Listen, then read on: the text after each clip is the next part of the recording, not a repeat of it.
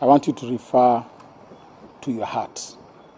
Have you become this heartless, Mr. President? Have you become this heartless to a sense that your deputy president is sick, but you're still fighting him down? Mr. President, we helped you, we fought for you to become president.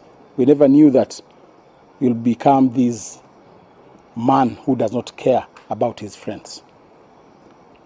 You had the opportunity to even talk to the Senate because they have up to Saturday.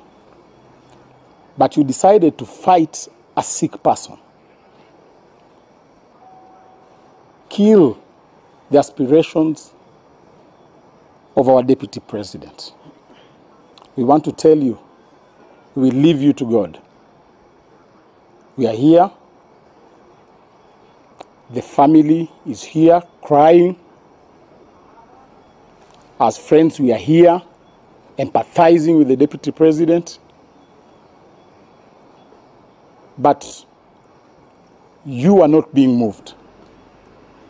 The person who was stripped off his cloth before his family to make you president is now here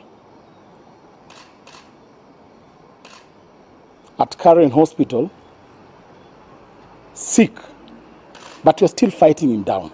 What kind of a human being are you, Mr. President?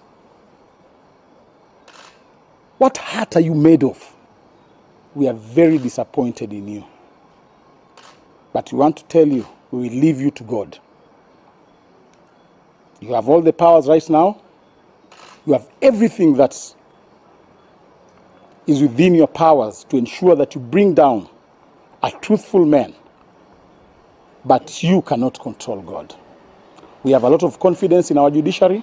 We will have our day in court, and we believe that we are going to emerge victorious. We want to ask our supporters to remain hopeful that this is not a fight for the faint hearted. We are here to ensure that we win this fight.